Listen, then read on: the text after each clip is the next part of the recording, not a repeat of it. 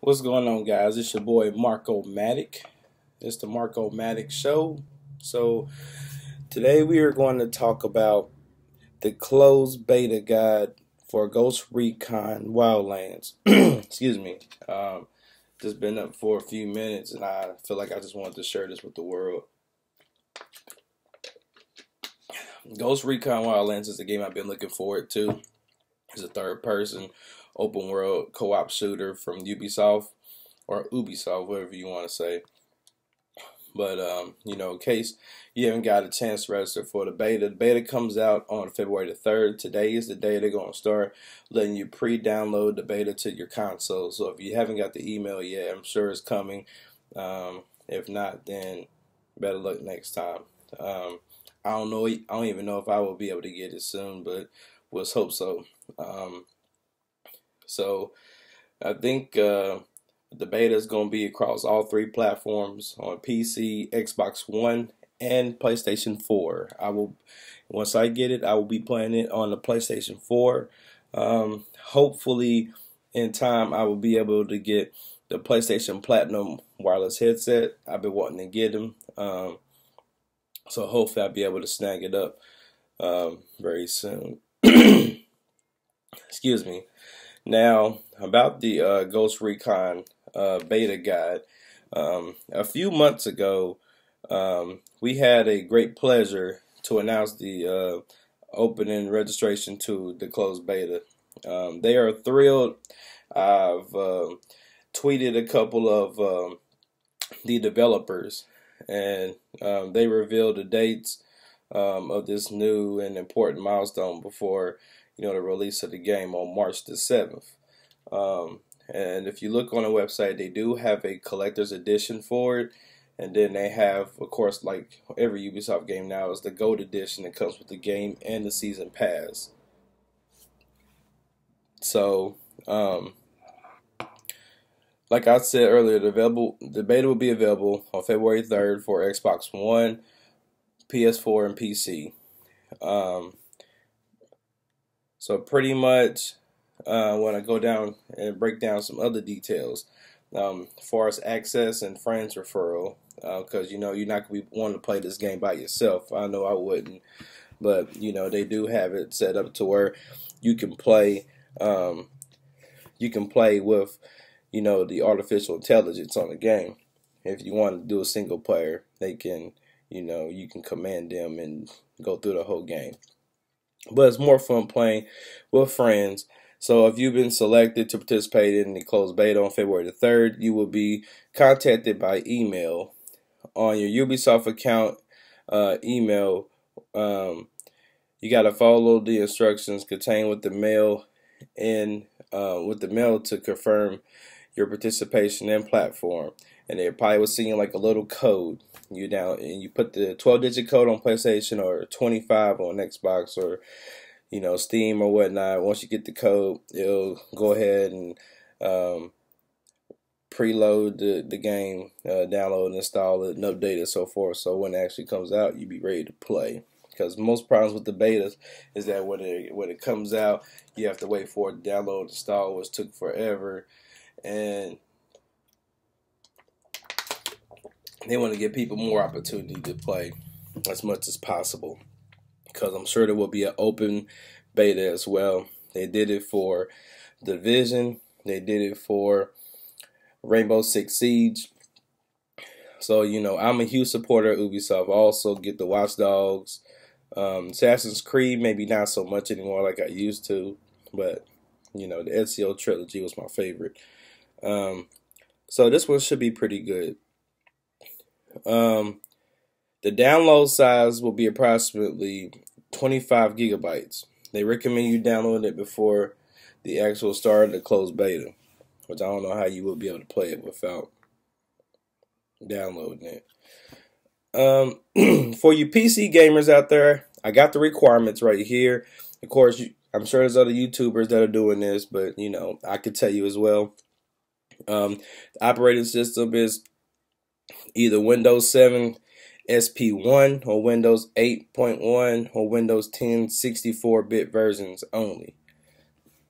Then you have um, the Intel Core i5 2.5 gigahertz or AMD FX 4320 with 4 gigahertz. Has to have 6 gigs of RAM. Um, the video card um, is the NVIDIA GeForce GTX 660 or the AMD R9 270X. 2 gigabyte VRAM in the shader model 5.0 or better. Um, the DirectX end user runtimes um, for June of 2010. The sound is DirectX compatible using the latest drivers. Hard drive, 50 gigs of available space, um, and peripherals. Windows compatible keyboard and mouse required. Optional controller, which is probably the Xbox One controller. If you're smart on PC, it'd be fun. Um, rec- recommend the system requirements. They got all that other stuff that you can go into the beta and look. Course, PC they have a long list of requirements. So you know, I'm more of a console gamer, so we're going to stick to that. Before as PC, I got love for you guys. Um, some of y'all, you know, follow me on here that play on Steam, and I do have a Steam account. I just don't have a powerful PC yet. My goal is before I turn 30 years old to build my own PC. Um, I may start a Kickstarter and see if somebody can fund me. Because the only way I'm gonna get a, uh, a powerful PC is if someone funds me. So hopefully I can find someone to fund me a new PC. That'd be a smart idea. So um, let's move on. Now, Ghost Recon Wildlands is very first uh, military shooter set in a massive, dangerous, and responsive open world that you can play entirely in four player co op or in solo.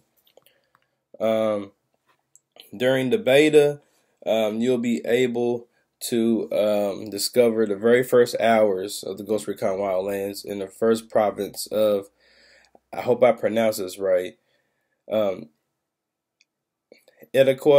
uh, one of the 21 regions of the massive open world. So they got 21 regions on there. One of them is Ithaca or uh, Itacua. It's I T A C U A. If I'm spelling it wrong, you can let me know later. Um, you'll be able to, you know, explore the area and complete main story missions. Um, but you will also be able to engage in side activities the full gameplay loop is available for you to discover, as well as the character customizations and gunsmith features. One thing that Ghost Recon I know does well, and what they did with Ghost Recon Future Soldier, is customization of weapons. You can modify and do so much with your weapons. So, as far as going down to the stocks, the handling, the adjustment grips, um, the ammo, the scope. It's gonna be fun. It's gonna be dope. Um, you know they got character smith and gunsmith on there. You know you can look at more into on um, uh, following videos. Um, a closed beta participation, you will be granted access to the official beta forums and portal. Um, they got closed beta, frequently asked questions, and latest news. Um, So with that one, um, it looks pretty legit. Um, far as the uh, the closed beta guide, you know, the co-op play is pretty much going to be the fun part. Um, I think pretty much this, these moments of uh, co-op play is going to be memorable, and we've been looking for a game that's kind of similar to the Division, but gives you more open world capabilities and more customizations with your weapons. I think Ghost Recon will successfully do that if you're looking for that type of game. If you're looking for a game that's going to be, you know, similar to Grand Theft Auto, I don't know why everybody wants to compare a game to Grand Theft Auto. It is a different game on its own. Um, it really is. So, um, you know, far as the co-op goes, um, I'm sure they'll have it to where you probably want to be smart about it and pick like you know like someone that has a good sniper weapon and then you want two people to do like you know close encounters, and then one you know step back just a little bit um, to go stealth and stuff like that. I'm sure y'all will you know plan everything to the T, and then everything will work out well. Um, I'm just so excited. Um, I'm a huge Ghost Recon fan. Um, well, I'm a big Ubisoft fan as well, but I'm looking forward to playing this. Um, so, you know, that it would be enough to get me um, occupied until Mass Effect Andromeda drops. When Mass Effect Andromeda drops, um, everything else is obsolete. I can't. Um, I can't say enough, like you know, how much I'm looking forward to that game. But this one, this uh, video is all about Ghost Recon, which is one of my second most anticipated games this year because I don't know if any other games are going to come out in the fall, but we shall see. Um, so if y'all want to play with me on the PlayStation 4, uh, just add me. Uh, my name is Markomatik. Um, just like you know the title description on there, the Markomatik Show. So follow me on there. I'm on Twitter Instagram, uh, Twitch, all the social media. Just look me up, even Google me, and Mar- as Markomatik, and my face will pop up or something will. I'm sure. So um, you know, if y'all want to play with me, just let me know, and you know, I'll be happy to play with you. I don't mind. Um, you know, the times that I do have free, um, I will be streaming Resident Evil 7, uh, Biohazard uh, today, and then possibly some Watch Dogs 2. I'm gonna play a little bit my PlayStation today. I've been playing uh, my Xbox One a lot more because uh, I got Rainbow Six on there and I got the Division on there. I thought about getting Ghost Recon on there, but you know, look in the comments. Tell me what do you think. You think I should get um, Ghost Recon Wildlands on Xbox One or PlayStation 4? Um, just let me know. Uh, hope y'all like and subscribe my video. And thank y'all for watching. And I hope y'all all have a lovely Wednesday.